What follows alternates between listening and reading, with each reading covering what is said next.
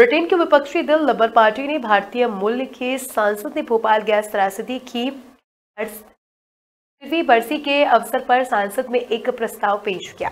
इस घटना को दुनिया में सबसे बदतर औद्योगिक त्रासदियों में से एक माना जाता है। उत्तरी इंग्लैंड के स्टॉकपोर्ट के लेबर पार्टी के सांसद नवेंदु मिश्रा ने 40 सांसदों के समर्थन से भोपाल गैस लीक के पीड़ितों के लिए न्याय दिलाने की मांग की है।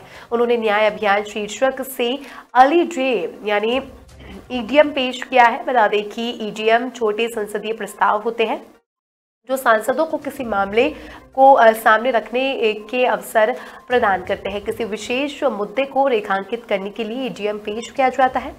सांसद नवेंदु मिश्रा ने कहा कि लंबे समय से इस बड़ी त्रासदी के पीड़ित इसके प्रभावों को झेल रहे हैं।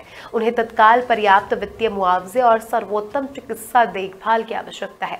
उन्होंने कहा कि मुझे उम्मीद है कि इस प्रस्ताव के पेश होने के बाद सांसद सदस्य न्याय अभियान के बारे में जागरूकता बढ़ाने के लिए कुछ आ, करेंगे। सरकार वो काम करेगी जिसकी सख्त ज़रूरत है। बता दें भोपाल गैस त्रासदी दो और तीन दिसंबर उन्नीस सौ तिरासी के दरमियान रात को हुई थी, जब मध्य प्रदेश में यूनियन कार्बाइड कीटनाशक संयंत्र में रिसाव के बाद पाँच लाख से अधिक लोग मिथाइल आइसोसनाइट के संपर्क में आए थे। इस दुखद घटना को दुनिया में अब तक की सबसे बदतर औद्योगिक त्रासदी माना जाता है।